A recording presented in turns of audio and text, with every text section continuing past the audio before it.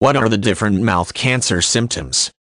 Mouth cancer is a general term for any one of the oral cancers that affect the lips, tongue, inside the mouth, throat, or the cheeks. These cancers are linked by type and location, and many of the symptoms are the same. Common mouth cancer symptoms include swelling, the development of discolored patches in the mouth and throat, changes in the form and shape of the mouth, and unexplained bleeding. Many of the conditions can occur on their own and not be cancer-related, but when symptoms last for more than two weeks they should be checked by a doctor or dentist. Changes in the shape of the mouth can be one of the most telltale of mouth cancer symptoms. This can include swelling of the lips or gums, thickening of areas in the mouth, the development of rough spots or crusty areas, or lumps in any of the soft tissues. For those who wear dentures, plates that go from fitting properly to not sitting right can indicate such a change. For others, there may be a shift in the way teeth sit, including a sudden gap or overlap in teeth. Teeth can even become loose.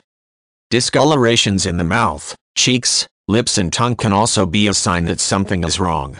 Patches of odd coloration can be pure white, white spotted with red, or an unnatural-looking red color. Off-color areas can be sore, or show no other signs that anything is wrong. Sometimes, these areas can be accompanied by other symptoms. Mouth cancer symptoms can also appear in the rest of the body, and include a dramatic and noticeable weight loss without a change in diet or exercise. Perhaps the most noticeable of mouth cancer symptoms can be chronic pain or tenderness not only in the mouth, lips, and tongue, but also in the face and neck.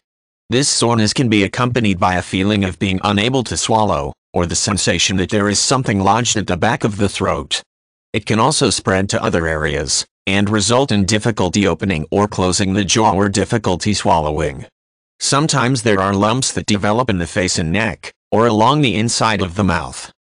A routine visit to the dentist often includes a brief examination for any of these mouth cancer symptoms.